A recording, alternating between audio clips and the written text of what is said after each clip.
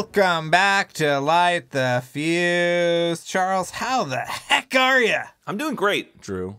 I, I mean, I, I, as of this recording, the Oscars haven't happened, but I but I know by the time of this release they will have, and I'm hoping that I will be great, based on the results of the Oscars. Yeah, you got an inside line? You got a Ouija board or a crystal ball or anything over there? What, Uh, I don't have a Ouija board, but I do have a Patreon. Do you know what a Patreon is, Drew? no, I've never heard of a Patreon, but why don't you go ahead and tell us? We have a Patreon. It's uh, patreon.com slash light the fuse. And if you go there, you can sign up. And if you sign up at the bonus content level, you will get a bonus episode where we dive deep into all the results for Top Gun Maverick at the Oscars. So please sign up.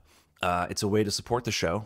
And speaking of which, uh, Top Gun Maverick VFX, they finally released like a, a few images of like before and after they reskinned the jets. Oh, Did you, did you ever see this image? both here and in my day job, I have been pestering the VFX company since May, probably of last year. And I've said, let me write something, let me have somebody on the show, something. And whew, it has been tough, Charles. It has been tough. There's been an article, and we will um, we'll put it in our show notes for this week. So if you go to the episode guide, and I'll text you these photos right now. We'll put these photos in there as well, so you can see a before and after of an example of of when they reskin the jets using VFX to you know eliminate the actual pilot so it's just the actor there and, and and change the look of the jet it's really interesting and there's just one Is this for the fifth gen fighters? I don't let me see it looks like it's yeah i think so Okay. Oh, I'm looking right now.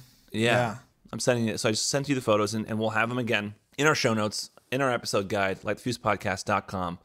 Go there for this, uh, go to our, this episode and you'll find, you also find a link to that website. It's beforesandafters.com and it's a, it's a, an article about the VFX in Top Gun Maverick. So we will have that for you to check out. And, you know, the Top Gun Maverick VFX is Oscar nominated. Um, and we don't know if they won yet, but, you know, you know by now. We can hope. And uh, yeah, that's about it for me. Do you have anything? The guy who runs befores and afters is a good friend of our, or maybe just a, a friend, a friend of the show, Blake Howard.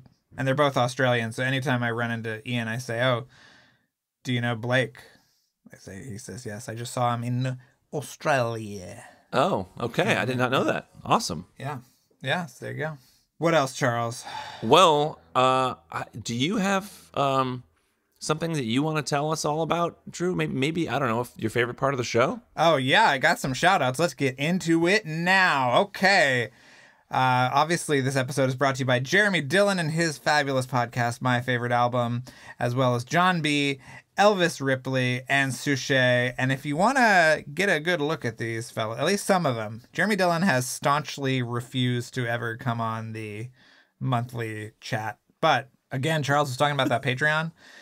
You can see some of these beautiful people during our monthly Zoom chat, which is only available to Patreon subscribers of a certain tier. And uh, Charles will tell you more about that when we come back. But Charles, for now, let's get into it with Graham Moore Part Two. Yeah, we haven't even talked about. Of course, Graham Moore is back for more, and uh, he is the Oscar-winning screenwriter of The Imitation Game and writer-director of The Outfit. And we've got and, and a great novelist as well. So if you, we've got more amazing stuff to talk about with him relating to Mission Impossible this week. But you know what he doesn't have, Charles? A, a Mission Impossible podcast. So, you know, He doesn't. No, not a. not many people can say they do. let's get into it with Graham, and we'll be back afterwards.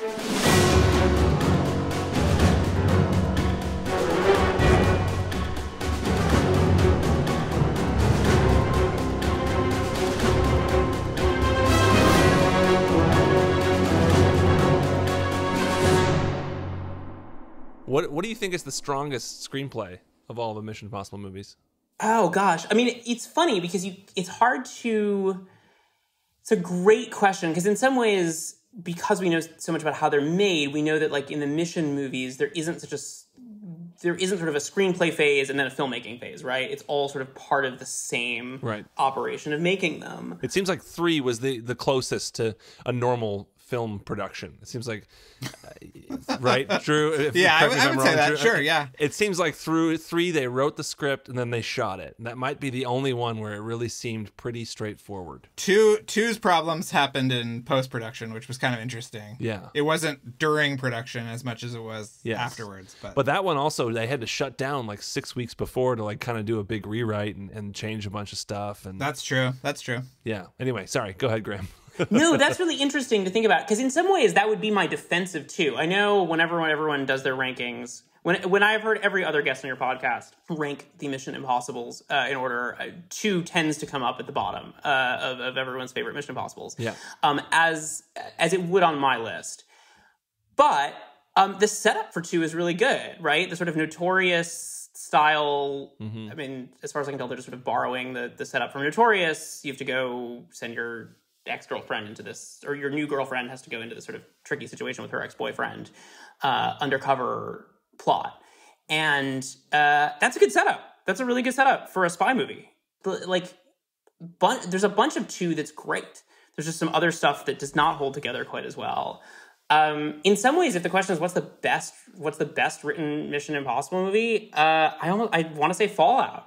I mean, I think Fallout is such a, it is my favorite of them. Um, as much as I love the first one, uh, I think Fallout's at least as good. I think Fallout is the one with a real sort of moral and philosophical weight to it. There's this real question of set up from the opening sequence.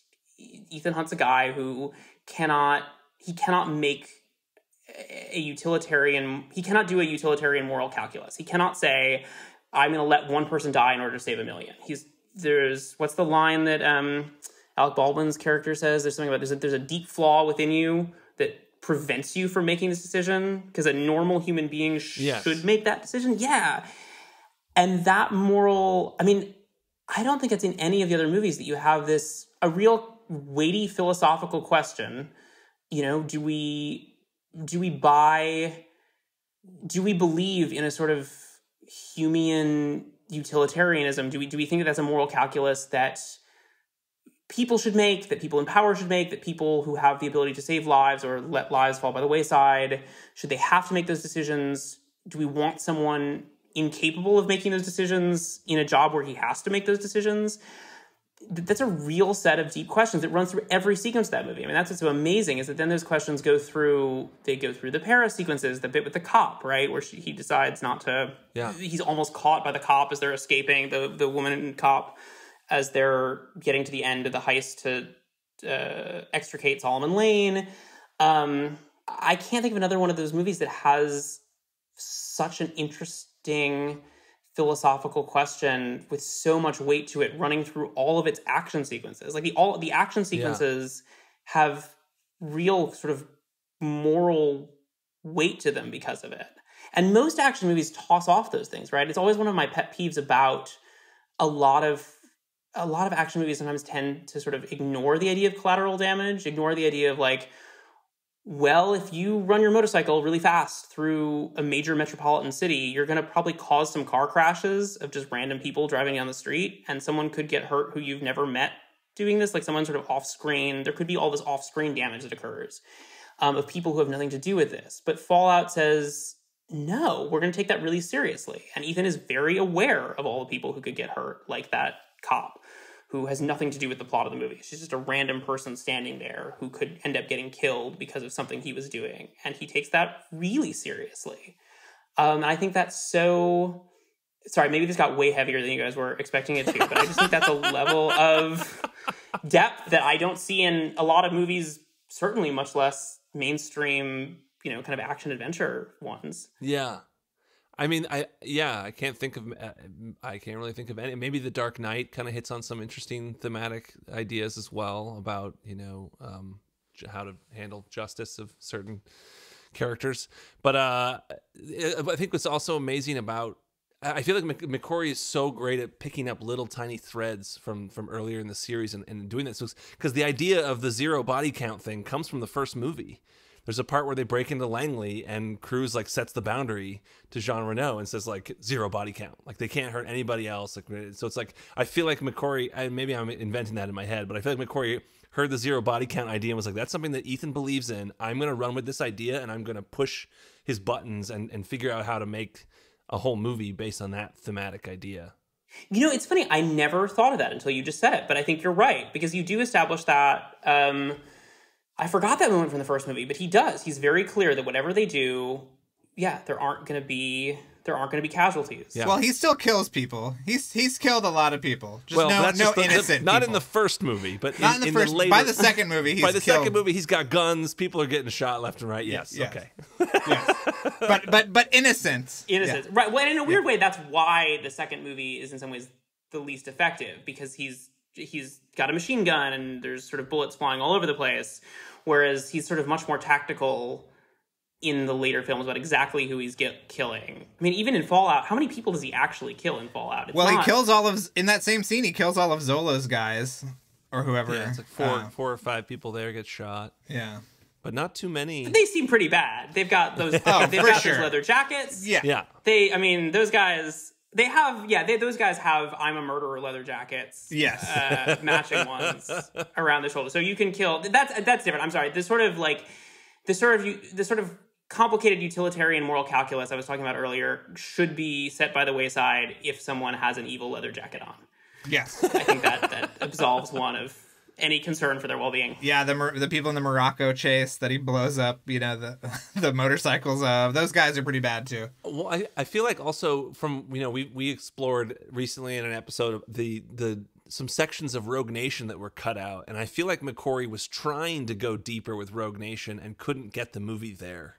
I think even he would probably admit that. Um, but like you know there was there was there because it seemed like there was a questioning of what they do um, which I don't, I don't know if you heard that episode, but like Ethan is like talking to Benji and he says something like, "Do you ever doubt, you know, the things that we're doing, these missions, and why we do them, and everything?" And that's sort of going in line with Solomon Lane and his whole thing of creating the syndicate and like turning all these agents against the governments who are asking them to do these things and, and you know kill people or do whatever it is for for those governments. And so I feel like he was trying to get there with Rogue Nation and just couldn't get the movie to get there. And they ended up having to cut out all this stuff because there was a whole section too about Solomon Lane like trying to seduce Ethan to the syndicate. And there was even like a music theme for it that I remember Joe Kraemer told us about when we interviewed him. That there was like a kind of a I forget what he described it as, but it was like this kind of seductive sounding music cue that was like Solomon Lane trying to seduce Ethan to the dark side to kind of play on that idea of like questioning orders essentially. Yeah, I, I I have heard that episode, and I think it's so. In some ways, Rogue Nation sort of teases it, and then I, f- I feel like I remember hearing you guys talk about the the idea that that the Solomon Lane has the great monologue in um, Fallout. The you know the your mission should you choose to accept it isn't that the line? What if you? I ask you, have you ever? I forget what it. It's, Yeah, yeah. Have you ever chosen not to? Right, that's the great line that was. I feel like I heard on an episode of this podcast that you guys talked to someone who was saying that was originally written for Fallout or for Rogue Nation. Yeah, we found it in the script for Rogue Nation. Yeah. Oh, you found it, yeah. So that's um, I don't. When I remember hearing that when you guys were discovering that, that's so interesting because that line seems so. I'm glad he. I'm glad McQuarrie finally found a way to use it because it's so great, right? And it Yeah. gets at it gets at the difficulty of you know you're this spy and you get a little suitcase or something that tells you what your mission is and it gives you all the information at the beginning of here are the good guys, here are the bad guys. These are these are the guys you're supposed to go kill. They have this thing that you we need. Go get it from them, and and it's fine if they die in the process of that. And you sort of go, oh well, yeah. Has Ethan ever questioned? It, makes me wish there was a beat where he actually got a um in maybe maybe they can use this in one of the next ones where the information he's given at the beginning is wrong, right? Like he actually does get bad. He's given orders that aren't right because the the IMF had bad information. That that Solomon Lane should have this point that why do you take everything they say at face value? Which is this great question. Like why do you take everything that this disembodied voice tells you on a recording so seriously? Yeah. Which ended up being such a great beat in Rogue Nation, where I mean, there the reversal is that Solomon Lane's done the recording, not the IMF. But that's still, which is a version of that sort of twist. Like, don't just believe this because they're telling it to you on a little piece of tape. But yeah, that feels like such a great kind of McQuarrie thing. I'm so glad they've gotten to use that beat and can can continue exploring it in in the next movies. Yeah. Well, what do you think of the the the you know because I feel like there's there's criticism of the Ethan Hunt character being kind of thin. Do you feel that that's true? And do you think that that's a to the detriment of the movies, or you know, how do you feel about the character development that's in these movies? Well, it's a, it's a great question, right? I think um, so. Again, that's something I like about Fallout, where you see that he has a personality in the way he's having to make these decisions, not to his his problem solving solutions are his personality, right? He what you don't burden Ethan Hunt with, what the movies or what these six movies have not burdened him with, is a ton of backstory. And I will certainly say, as a writer, good backstory is really boring. You know, you, we never find out. We don't know why he joined the IMF, right? We don't know why he became a spy. That seems like a pretty solitary life. As far as we know from the first movie, he has a family who he seems to be on good terms with, right? He's he's sad when they're um Well, he has at least a a mother and a uncle. Yeah. Yeah, he had the mother and the uncle, and then in the third one, I think he said that his mom is his parents are dead, although he might have been lying to his fiance at the time. I don't know. Um, yeah, we don't find out a lot, right, about Ethan's sort of story in, in a way that we would in. I almost feel like in a way that you would about lesser movies. What they what they let him do is you get characters through forward moving decisions.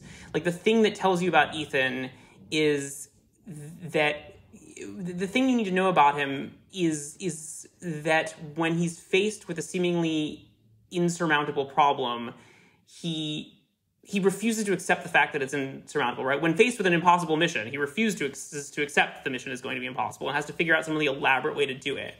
And it feels like all the stories you're just watching this guy kind of go through setback after setback after setback and have to come up with progressively more complicated and elaborate like schemes to uh, accomplish these setbacks. Um, and in a way, maybe I'd say that that's character too, right? It's not character in the way of, I don't know, what kind of music does he listen to, or how did he feel when presumably his father died when he was young, if we can assume that that's what's supposed to have happened.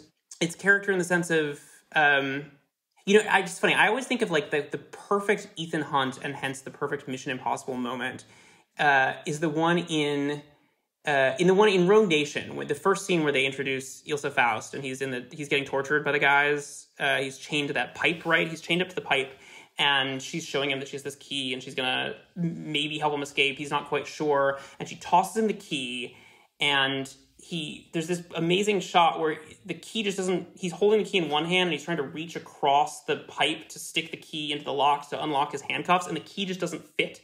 It's such a simple little oh escape would be really easy, but this pipe is half an inch too wide.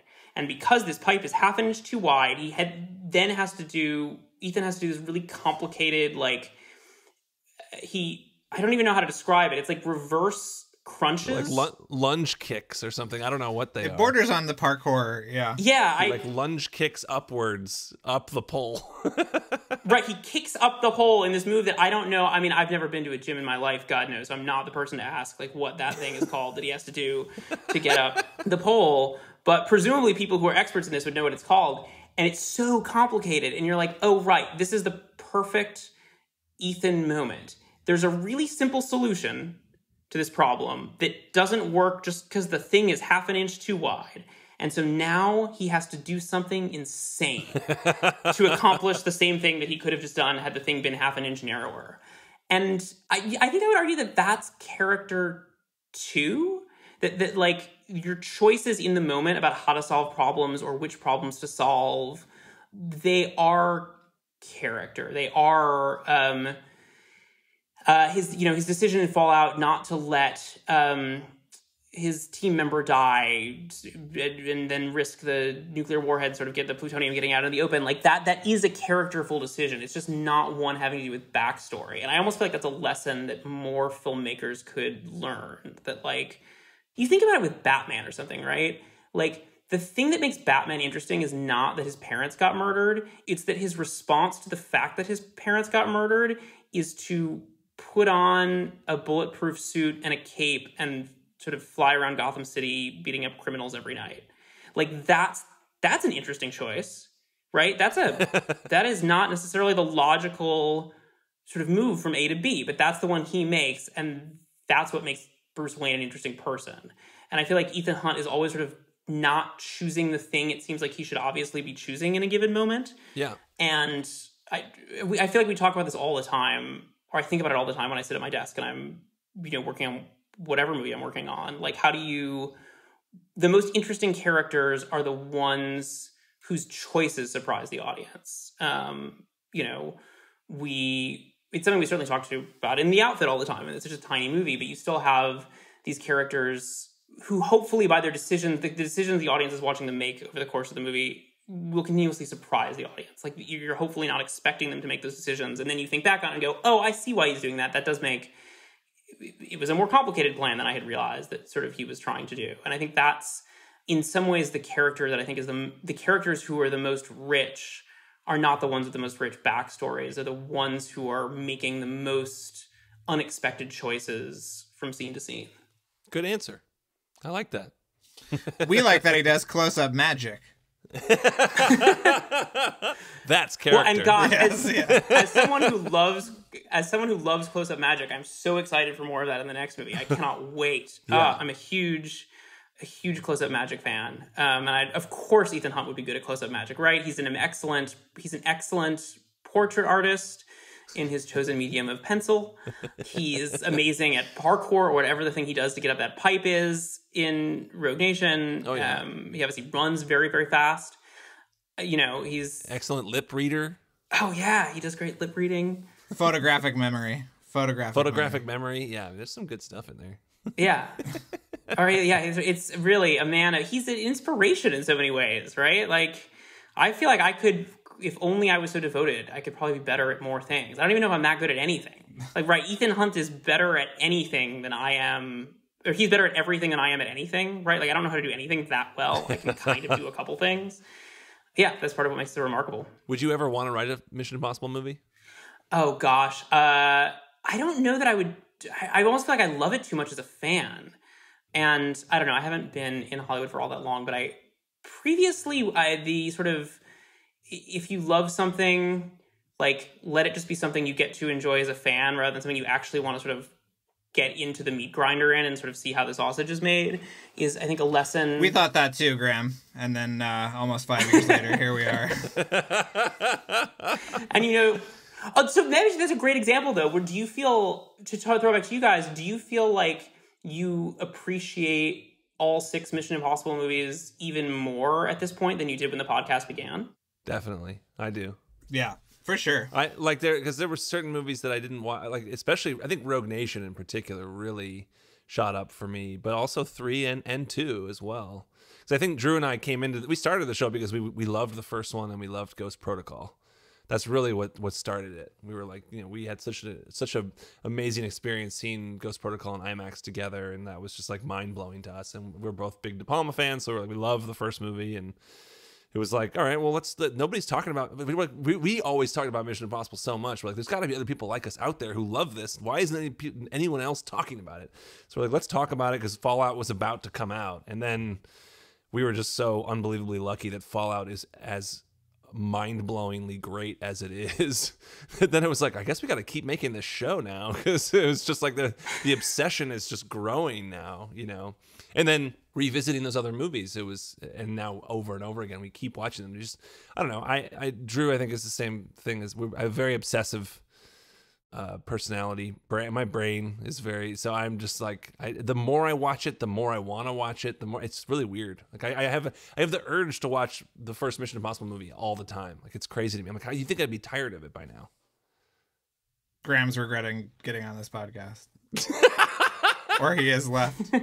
No, actually, I was, I was waiting to see if Drew, you were going to say something. No, no, I, I agree. I mean, I, I, yeah, yeah. All, all. I second all of Charles's weird, uh, weird explanation. Yeah, Yes. Sorry. Well, it is. I feel like it's rare that when you learn more about something, you appreciate it all the more, right? Like sometimes when you learn more about something, you like it less. Or sometimes when you, I mean, look, in, uh, you know, LA is a tricky place. Hollywood's a tricky place. Like I feel like I generally have, I generally have a good sort of never meet your heroes policy. Like the filmmakers, the writers, directors who I love the most, I sort of generally don't want to meet because uh, the reality is always going to be sort of disappointing and uh, you know, I, I want to have the illusions that I have of these people as perfect and untouchable geniuses. Um, Has that worked for you? Have you have you avoided them? Have you been like? do you run away from Martin Scorsese and whoever else when you see them? Do you cross the street, ran, you know, quickly if you see someone coming, that kind of thing? yeah, no, exactly. I, I'm good. Uh, I can run almost as fast as Ethan Hunt if I see uh, one of these guys on my way. Um, but no, it's funny. It, it's funny I say that though because actually one of the few uh, people who I whose work has meant so much to me per the beginning of this conversation, one of the few people in that position who I have met is Christopher McQuarrie. And, and you know, as I was telling you guys earlier, and only briefly, but it's funny, I've never told the story before, but because this is a Mission Impossible podcast, I can probably tell it here. Um, Chris McQuarrie was the first screenwriter I really remember identifying as, oh, this is a person who's a screenwriter. This is what screenwriting is. This person is one of the best in the world at it. And I wonder if I should try doing that too. Like that's a thing one can do with one's life and an interesting thing to do with one's life. And his work had meant so much to me over the years. And then when, let's see, when was this? This was probably, I don't know, 2011, 12, something like that. We had maybe 13. I'd moved to LA. I had worked alongside you, Charles, at that reality show and gotten a couple other little jobs. I was like, sort of not having a great go of the next few years and couldn't get any more jobs in film, couldn't get a job in film at all. I'd written this book that did pretty well, and I sort of thought I was going to just, I, th- I, kind of thought I was just going to go write books because um, that was going a bit better. And then I wrote the spec script for the imitation game, or for what became the imitation game. And it was sort of, it turned into a bit of a to do around town. There were all these sort of people calling, and I was, I was suddenly very overwhelmed. It was, I think, I had this experience that as many have, I think you know that the Hollywood's such a funny place because when the when the sun shines down on you, it feels like you can just bask in the warm glow for the rest of your life. And you never think that one day the sun will begin to fade, and when the cold sets in, my goodness, do you shiver? Right? Like it gets it gets real cold when when the sun starts to fade on you. And I was feeling really overwhelmed, you know, by the warmth of attention for that script at that moment. And I think I'd said something in an interview about McQuarrie, just about how much I liked him and how much I admired him and like his work and, and admired his work. And I got this message once. Uh, I got this message from McQuarrie saying, "Hey, I saw that you said something really nice about me. I, that's really kind. Do you do you want to have lunch?" And I said, "Oh my god, this is yes, of course I do. Let's go." And we went out and is this after the movie has come out now, or is this just when the script was around? No, no, the movie hasn't even come out. This is like I think we were gonna shoot it soon, and I think that it had been announced that he was gonna direct Rogue Nation, but they hadn't shot it yet. That's right. They had announced they'd announced that he was gonna be directing it, but he hadn't. They hadn't started shooting it yet, and so I was nobody. Right? I had never made a movie. I was like a kid with a script, and he still said, "Okay, let's yeah, come out." Let me take you out to lunch. And we spent, he spent three hours with me. We had this three hour lunch where McQuarrie sort of went through and said, look, you're, you're feeling all this attention right now. I'm sure it feels great. It's not going to last forever. And I sort of went through similar moments with usual suspects. And, you know, I'm sure you have questions and I don't want anything from you. I don't need anything from you. I have no agenda here. There's nothing I'm trying to get you to do or not do. Just I bet you don't have a lot of people in your life who've been through this experience that you can talk about it with. And I'm sitting here, so tell me what you want to talk about.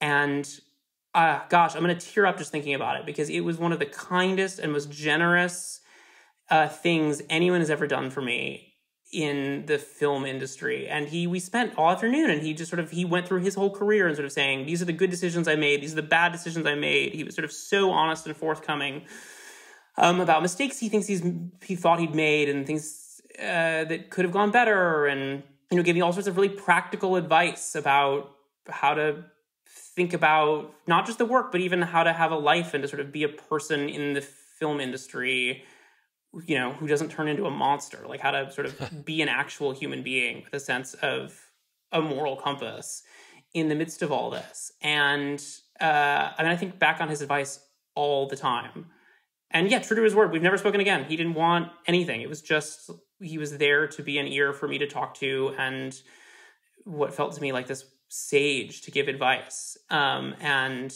yeah, it was it was generous in a way that it is hard for me to even describe at this moment. But I will always I will always be grateful to him for that moment. One of the few heroes that I have been able to actually meet and had their actual person exceed the image of them that had built up in my mind over the years. That's amazing. Amazing. Did he pay for lunch? he did because I didn't have any money, and so it was it was wildly expensive. So he was, uh, yeah, he was. Um, but Good you know, question. can I tell you that was Good actually one of his really practical. Yeah, that was one of his really practical pieces of advice. He said, you know, never. Never pick up the tab? No, it was it was not about the. It was like, are you going to buy a house? What's um? Tell me about your mortgage. Like, don't get a mortgage that's too big because you don't want to be in a situation where you've got these monthly payments and Wow. you know some movie falls through because movies fall through sometimes. You think it's going to happen and then it doesn't, and you're expecting this money and it doesn't show up. Yeah. And you know you can't. You you don't want to then go have to do something just for money because anytime you ever do something for money, it's going to be a disaster. That is has certainly been my experience in the years since. That anytime you say you're going to do something for money, it's just it's a mess and you hate it. It's never ever never worth it. And he just said you never want to be in that position. You want to you know keep your expenses low, Yeah. live well within your means. You know, so that if some movie comes falls apart, it's you're sad because it's the movie. You're not you're sad because you wanted to make the movie. You're not sad because oh my god, how am I gonna you know pay my mortgage next month? Which is extremely practical and thoughtful. Yeah. Wow.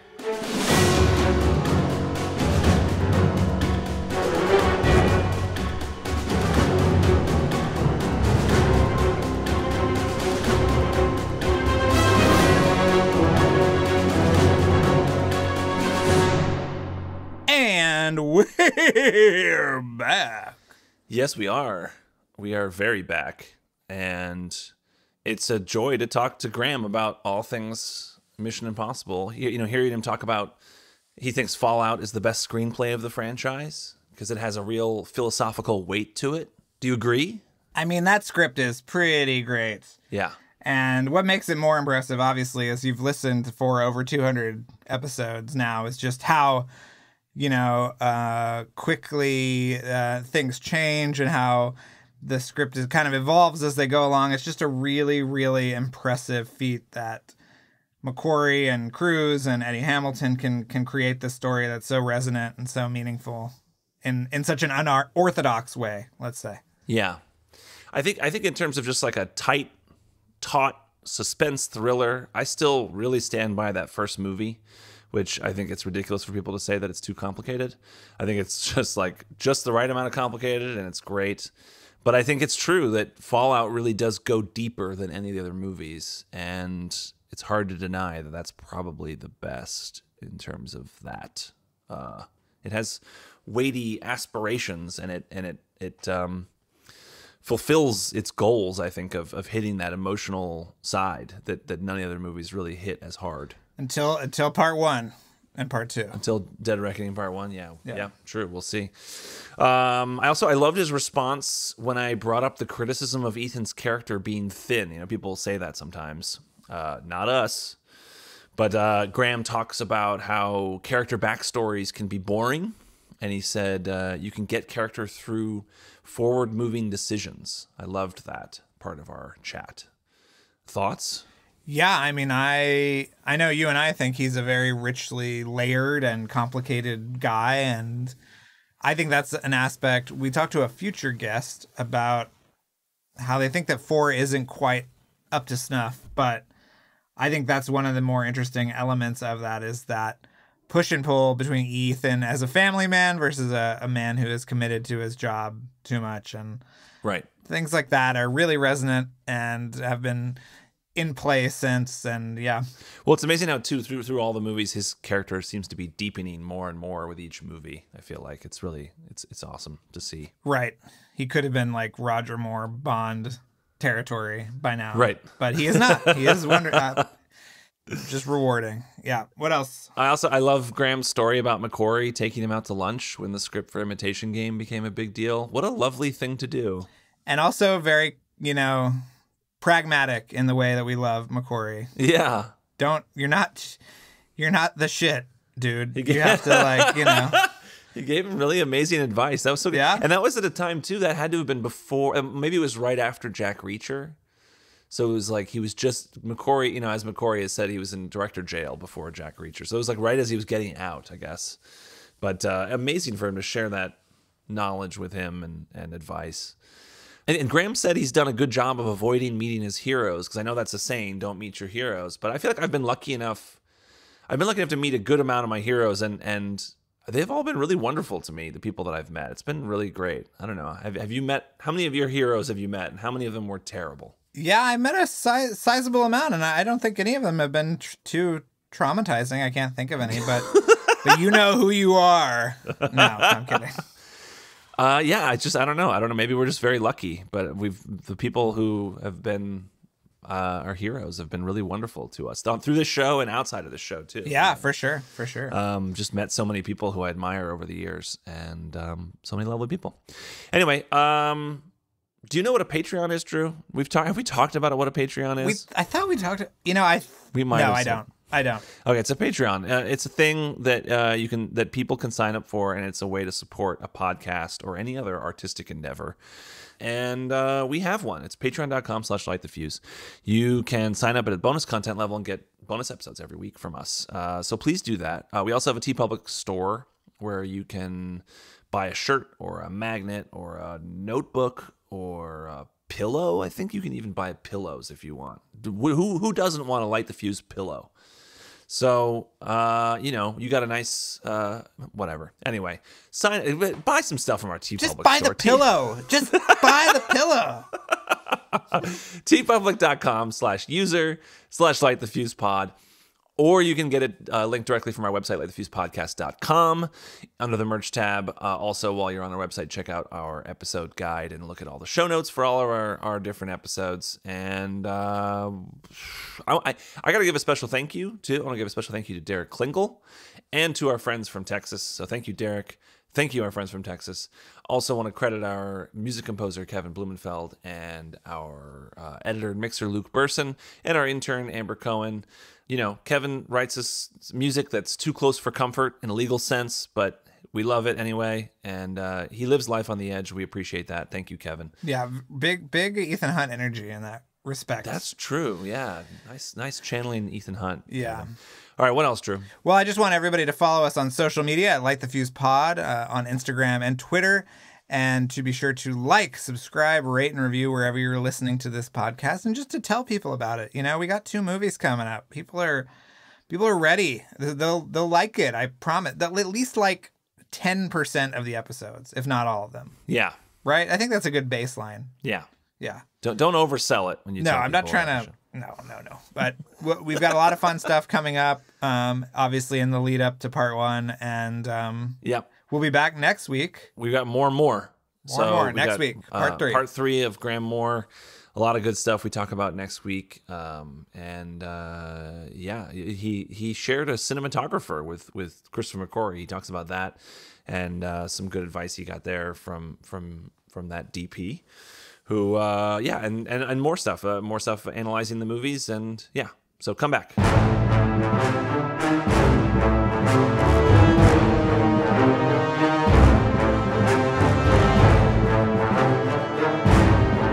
Thanks again for listening, everyone. Before we go, another mission, should you choose to accept it, please rate, review, and subscribe wherever you listen to podcasts. And remember that you can follow us on Twitter and Instagram at LightTheFusePod and email us questions or comments at lightthefusepodcast at gmail.com. This message will self destruct in five seconds.